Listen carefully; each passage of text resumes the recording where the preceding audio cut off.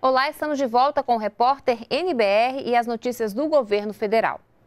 A rede de atendimento do Ministério do Trabalho e conveniados foram responsáveis por mais de 3 milhões e 400 mil emissões de carteira de trabalho até agosto deste ano. O resultado é 8% superior ao mesmo período de 2016. Para o ministro do Trabalho, Ronaldo Nogueira, o aumento das emissões de carteiras de trabalho em período de dificuldade econômica representa o otimismo dos trabalhadores na retomada do emprego, que já vem ocorrendo no país. Além de custear o abono salarial e o seguro-desemprego, o Fundo de Amparo ao Trabalhador é um aliado importante para manter empregos e gerar novas vagas formais.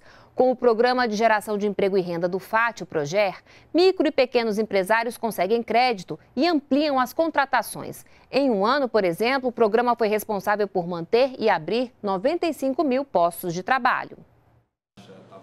Este empresário de Brasília teve acesso ao empréstimo há um ano e diz que ganhou um fôlego. O dinheiro foi aplicado na ampliação dos equipamentos do restaurante e na contratação de funcionários. Expandimos a nossa equipe aqui também, é, em torno de 50% a mais de contratação nesse período.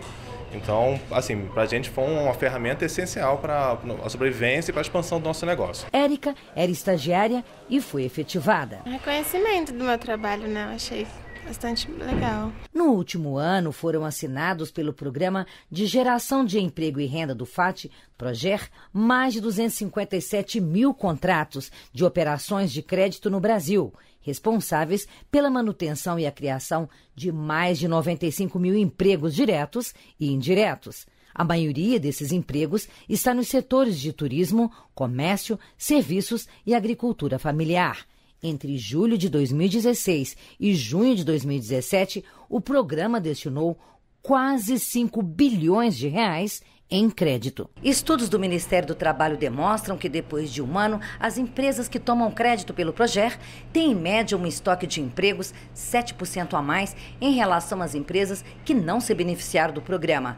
Ao final de 48 meses, esse percentual pode chegar a 13,6% em determinados empreendimentos. Em 2015 e em 2016, o Brasil perdia uma média de 100 mil postos de trabalho por mês. Nós chegamos na faixa de 3 milhões de postos de trabalho ah, negativo em apenas dois anos.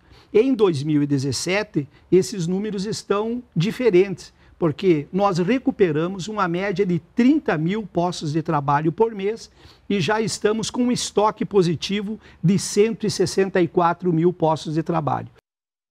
Este é o mês do Outubro Rosa, campanha para conscientizar sobre o câncer de mama. Só em 2016, segundo o Instituto Nacional do Câncer, quase 50, 58 mil casos foram diagnosticados no Brasil.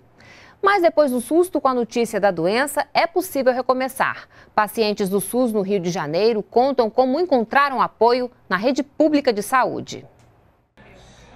Há cerca de dois anos, Elizabeth encontrou um caroço no seio. Com os exames, veio o diagnóstico. Chorei, o médico pegou nas minhas mãos e falou que eu tinha 99 de chance de viver. Isso porque estava no início e foi precoce. Por ter sido descoberto no início, Elizabeth conseguiu fazer a reconstrução do seio junto com a cirurgia da retirada do tumor. Além da mastectomia, o Sistema Único de Saúde também oferece a reconstrução mamária. Aqui no Rio de Janeiro, quatro hospitais federais fazem esse tipo de procedimento. Só no primeiro semestre deste ano foram 32 cirurgias, 15% a mais que no mesmo período do ano passado. Na maioria das vezes a gente faz uma reconstrução tardia, depois que o tratamento do câncer está finalizado, mas em casos selecionados é possível fazer a reconstrução imediata. A mulher que tem reconstrução mamária, ela tem a autoimagem dela preservada, permite ela virar a página do câncer e restabelecer uma vida social plena. E o acompanhamento das mulheres com câncer de mama pelo Sistema Único de Saúde vai além. O grupo Amigas do Peito, por exemplo, foi formado por iniciativa das pacientes há mais de 10 anos e se desenvolveu com o apoio do Hospital Federal. Além das voluntárias que trabalham com artesanato, uma equipe com vários profissionais, como terapeuta e fisioterapeuta, garante o atendimento integral. Roseli, que teve câncer de mama em 2006, conta que a vida desmoronou com a notícia da doença. A superação veio graças ao apoio que recebeu do grupo. Ali você começa a conversar e vai, e vai. E isso foi me ajudando muito. Tanto eu descobri o meu corpo pessoal, né? Quanto saber lidar com as coisas em casa, né? Durante os encontros semanais, as pacientes apoiam umas às outras com atividades que vão desde rodas de conversa até oficinas de artesanato. Ali elas compartilhavam emoções, compartilhavam como é que elas, de que forma cada uma estava enfrentando a sua doença. Dez anos após a cirurgia da retirada da mama, Roseli não teve apenas o seio reconstruído. Criou uma nova maneira de se sustentar e conseguiu garantir a entrada da filha na faculdade. Artesanato hoje é uma outra parte de renda também que me gera, né?